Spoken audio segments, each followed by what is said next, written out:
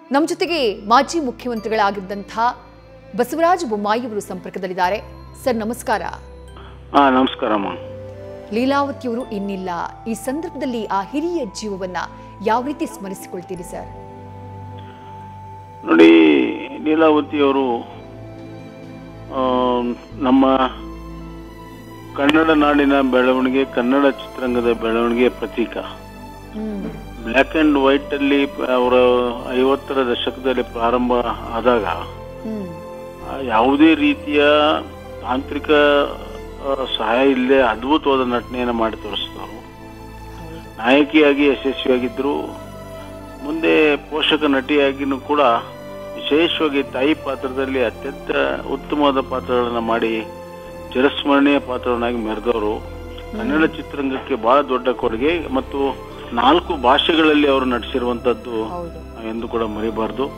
ಅಷ್ಟೆಲ್ಲ ಇದ್ರೂ ಕೂಡ ಯಾವುದೇ ರೀತಿಯ ಅಹಂ ಆಗಲಿ ಒಂದು ಇದು ಆದರೂ ಕೂಡ ಇರಲಿಲ್ಲ ಅವ್ರಿಗೆ. ಅತ್ಯಂತ ಸರಳ ವ್ಯಕ್ತಿತ್ವ.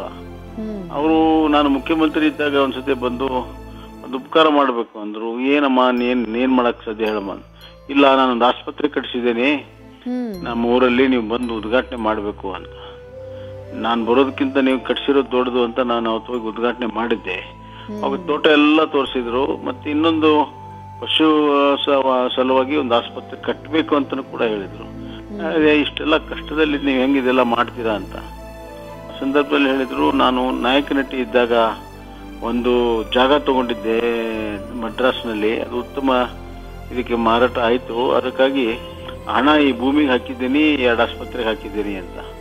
ಯಾರಾದ್ರೂ ದುಡ್ಡು ಬಂದ್ರೆ ತಮ್ಮ ಸ್ವಂತಕ್ಕಾಗಿ ಏನು ಮಾಡಬೇಕು ಅನ್ನುವಂತ ಚಿಂತನೆ ಮಾಡುವಂತ ಈ ಕಾಲದಲ್ಲಿ ಇವತ್ತು ಅವ್ರು ಕಷ್ಟಪಟ್ಟು ಆ ಭೂಮಿಯಲ್ಲೂ ಸಾಕಷ್ಟು ತಕರಾರುಗಳಿತ್ತು. ಅದನ್ನೆಲ್ಲ ನಿಭಾಯಿಸಿ ಮಣ್ಣಲ್ಲಿ ಮಣ್ಣಾಗಿ ಕಲ್ಲಿಗೆ ತಲೆ ಕೊಟ್ಟು ಕೆಲಸ ಮಾಡಿ ಅದ್ಭುತವಾದ ತೋಟವನ್ನು ಮಾಡೋ ಜೊತೆಗೆ ಆ ಜನರಿಗೆ ಒಂದು ಆಸ್ಪತ್ರೆ ಕಟ್ಟಿಸಿಕೊಟ್ಟಿದ್ದಾರೆ. ಪಶು ಆಸ್ಪತ್ರೆ ಕೂಡ ಉದ್ಘಾಟನೆ ಮಾಡಿದ್ದಾರೆ. ನಿಜವಾಗ್ಲೂ ಕೂಡ ಒಂದು ಮಾದರಿಯ ಬದುಕು ಅವರು ನಡೆಸಿದ್ರು. ನಟನೆಯಲ್ಲೂ ಅಷ್ಟೇ, ಬದುಕಿನಲ್ಲೂ ಅಷ್ಟೇ. ಸಾಮಾಜಿಕ ಪ್ರಜ್ಞೆ ಇಟ್ಕೊಂಡು ಸಮಾಜ ಸೇವೆಯನ್ನ ಯಾವ ರೀತಿ ಮಾಡ್ಬೇಕಂತೇಳಿ ನಮ್ಗೆಲ್ಲರಿಗೂ ಕೂಡ ತೋರಿಸ್ಕೊಟ್ಟು ಹೋಗಿದ್ದಾರೆ ನಾವು ಒಬ್ಬ ಮೇರು ನಟಿಯನ್ನ ಕಳ್ಕೊಳ್ಳೋದು ಅಷ್ಟೇ ಅಲ್ಲ, ಅತ್ಯಂತ ಮಾದರಿಯಾಗಿರುವಂಥ ಮಾನವೀಯತೆ ಇರುವಂತ, ಉತ್ತಮವಾದಂತ ತಾಯಿಯನ್ನ ಕಳ್ಕೊಂಡೇವೆ ಅಂತ ಅನಿಸ್ತಾ ಇದೆ ನನಗೆ. ನಿಜ ನಿಜ ನಿಜ. ನೀವು ಹೇಳಿದ ಹಾಗೆ ವೈಯಕ್ತಿಕ ಬದುಕಿನಲ್ಲಷ್ಟೇ ಸವಾಲುಗಳಿರಲಿಲ್ಲ. ಸಿನಿಮಾ ಬದುಕಿನಲ್ಲೂ ಸವಾಲುಗಳಿತ್ತು. ಬಹಳ ಸವಾಲಿತ್ತು ಅವ್ರಿಗೆ ಆದರೂ ಆದ್ರೂ ಕೂಡ ಅವರು ಎಲ್ಲ ದುಃಖವನ್ನ ತಮ್ಮ ತಮ್ಮ ಜೊತೆಗೆ ತೆಗೆದುಕೊಂಡು ಹೋಗಿದ್ದಾರೆ. ಯಾರಿಗೂ ಕೂಡ ದುಃಖವನ್ನು ಕೊಡೋ ಕೆಲಸ ಮಾಡಿಲ್ಲ ಅವರು. ಹ್ಮ್. Right sir right sir thank you sir thank you news first ಜೊತೆಗೆ ಮಾತನಾಡಿದ್ದಕ್ಕೆ. ನ್ಯೂಸ್ ಫಸ್ಟ್ ನಿರ್ಭೀತಿಯಿಂದ ನಿಮ್ಮ ಪರವಾಗಿ.